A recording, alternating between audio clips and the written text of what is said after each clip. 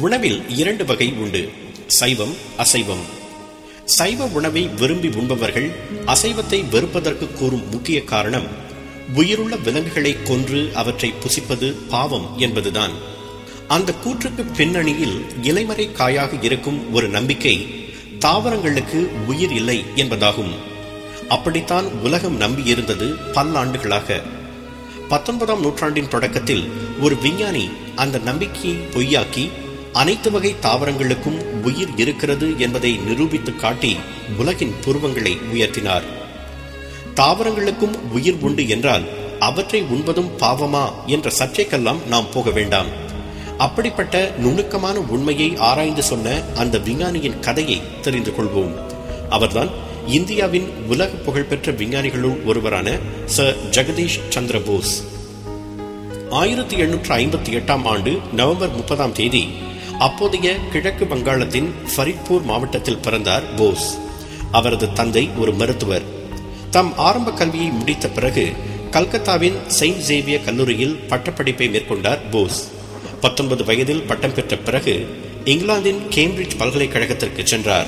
அங்கு தாவரவியல் விலங்கியல் ஆகிய துறைகளில் அதிக ஆர்வம் காட்டினார். லண்டனில் இருந்தபோது லார்ட் ரெய்லே என்ற விஞ்ஞானியின் நட்பு போஸுக்கு கிடைத்தது. அவருடைய வழிகாட்டுதல் மற்றும் தூண்டுதலின் பேரில் தாவரங்களை பற்றிய நுண்ணிய ஆராய்ச்சிகளில் ஈடுபட்டார் போஸ். கேம்பிரிட்ஜில் கல்வி முடித்து இந்தியா திரும்பிய பிறகு கல்கத்தா மாநில கல்லூரியில் இயற்பியல் பிரிவில் விரிவுரையாளராக சேர்ந்தார்.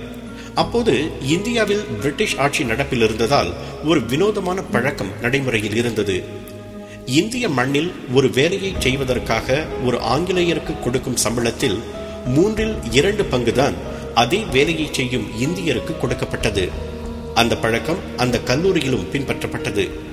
இந்தியர்கள் அறிவியல் துறையில் பின்தங்கியவர்கள் என்பதால் முழு ஊதியம் பெற தகுதியற்றவர்கள் என்பதுதான் அதற்கு கூறப்பட்ட காரணம். ஜெகதீஷ் சந்திரபோஸ் அதையெல்லாம் கண்டுகொள்ளவில்லை. தமது அறிவு கூர்மையை பயன்படுத்தி நன்கு கற்பித்ததோடு மட்டுமின்றி பல ஆராய்ச்சிகளையும் செய்தார். அவரது பணியில் முழு திருப்தி அடைந்த கல்லூரி நிர்வாகம் போஸுக்கு முழு ஊதியம் வழங்க ஆணையிட்டதோடு ஏற்கனவே பணியாற்றிய காலத்திற்கு தர வேண்டிய நிலுவைத் தொகையையும் வழங்க உத்தரவிட்டது. பொறுத்தார் பூமியாழ்வார் என்பதற்கு அந்த சம்பவம் ஒரு நல்ல சான்று. அவ்வாறு கிடைத்த தொகையை கொண்டு ஓர் அறிவியல் ஆய்வுக்கூடத்தை நிறுவினார் போஸ்.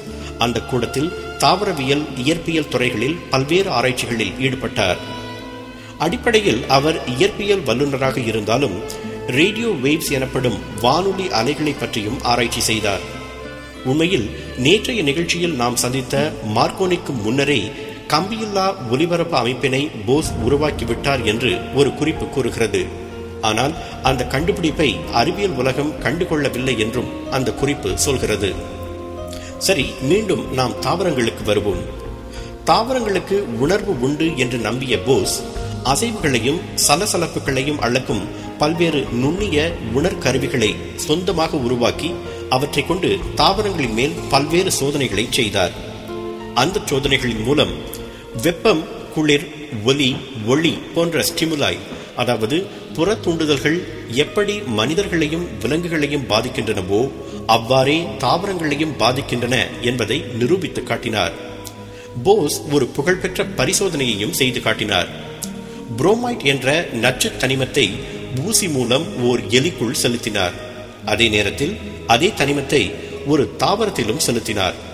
எலி தாவரம் இரண்டுமே மரணத்தின் விளிம்பில் போராடியதை கண்டு வியந்த அறிவியல் உலகம் போஸின் முடிவுகளை கைதட்டி பாராட்டியது.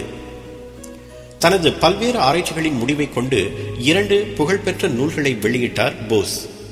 Response in the living and non living the nervous mechanism of plants என்ற அந்த இரண்டு நூல்களும் சொன்ன கருத்து உலகை வியப்பில் ஆழ்த்தியது. தாவரங்களுக்கும் உயிர் உண்டு அவை மனிதர்களைப் போலவே உணவு உண்டு செரிப்பதோடு இரவில் உறங்கி காலையில் விழிக்கின்றன அவற்றுக்கும் கூட பிறப்பும் இறப்பும் உண்டு. நம்மை போலவே மகிழ்ச்சி துன்பம் ஆகிய உணர்ச்சிகளும் உண்டு. இவைதான் அந்த நூல்கள் சொன்ன கருத்து. தாவரங்களை நேசிப்பவர்கள் ஒன்று சொல்ல கேள்விப்பட்டிருக்கிறேன். அவற்றிடம் தினசரி அன்பாக பேசினால் அவை நன்றாக வளருமாம். ஜெகதீஷ் சந்திரபோஸின் முடிவுகளை பார்க்கும்போது அந்த குற்றும் உண்மை என்றே தோன்றுகிறது.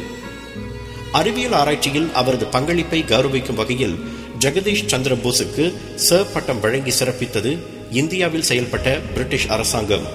ஆயிரத்து தொள்ளாயிரத்து இருபதாம் ஆண்டில் லண்டன் ராயல் கழகத்தின் உறுப்பினராக அவர் சேர்த்துக் கொள்ளப்பட்டார். வாடிய பயிரை கண்ட போதெல்லாம் வாடிய வள்ளலாரை தந்த அதே இந்திய தேசம்தான். அந்த பயிர்களுக்கு உயிர் உண்டு என்ற உண்மையை கண்டு சொன்னவரையும் தந்திருக்கிறது. அந்த அற்புத விஞ்ஞானி ஆயிரத்து தொள்ளாயிரத்து முப்பத்தி ஏழாம் ஆண்டு நவம்பர் இருபத்தி மூன்றாம் தேதி தமது எண்பத்தி இரண்டாவது வயதில் மாரடைப்பால் காலமானார். தோல்வியிலிருந்துதான் உண்மையான வெற்றி கிடைக்கிறது என்று ஒருமுறை கூறினார் சர் ஜெகதீஷ் சந்திரபோஸ் அவருக்கு வானம் வசப்பட துணை புரிந்த பண்புகள் ஈடுபாடு துணிச்சல் மன உறுதி தன்னம்பிக்கை சோர்வின்மை பொறுமை. அந்த பண்புகளில் சிலவற்றை பின்பற்றினாலும் போதும் நமக்கும் அந்த வானம் வசப்படும். வானம் வசப்படுமே. தொண்ணூற்றாறு புள்ளி எட்டு கேட்டாலே பரவசம் பரவசம் எங்களுடைய நிகழ்ச்சிகள் உங்களுக்கு பிடித்திருந்தால் உடனுக்குடன் கண்டு மகிழ கீழே உள்ள சப்ஸ்கிரைப் பட்டனை அழுத்தவும். எங்களுடைய நிகழ்ச்சிகள் உங்களுக்கு மிகவும் பிடித்திருந்தால் உங்களுடைய நண்பர்களுக்கும் ஷேர் செய்யவும். நன்றி வணக்கம்.